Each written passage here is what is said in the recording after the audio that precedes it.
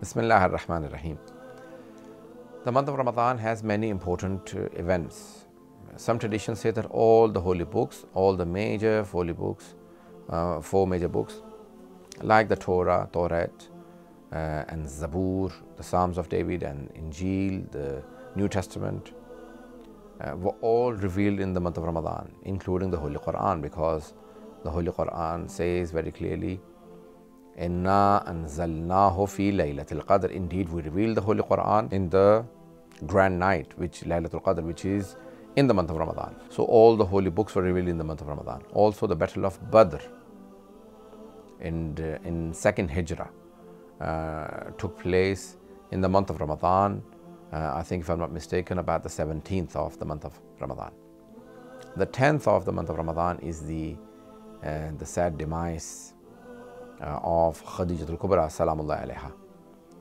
Um, she, she is the most important and the most beloved wife of the Holy Prophet wasallam, and uh, she is um, a muhsina of Islam. She has uh, sacrificed a lot for Islam. So her um, she passed away this, on the 10th.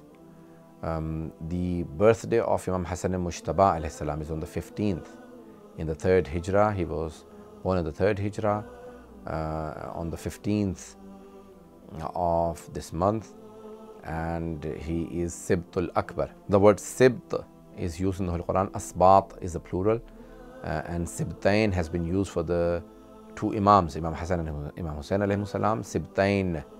Usually the word Sibt is used for the older son of, the, of a prophet or the one who will inherit his prophethood is usually used for sibt. So the Imams, the two Imams are successors of the Holy Prophet and that's why they named Sibtain and Imam Hassan al-Mujtaba named as Sibtul Akbar and the older uh, son of the Holy Prophet or the grandson. On the 19th of the month of Ramadan is the the morning of that day is basically the day when Imam al-Islam was struck by Abdurrahman ibn alayh. And then on the 21st is the martyrdom of Imam uh, Amir al-Mu'mineen Ali ibn Abi Talib. Um, 23rd is the Laylatul Qadr or one of the three nights, 19th or the 21st or the 23rd.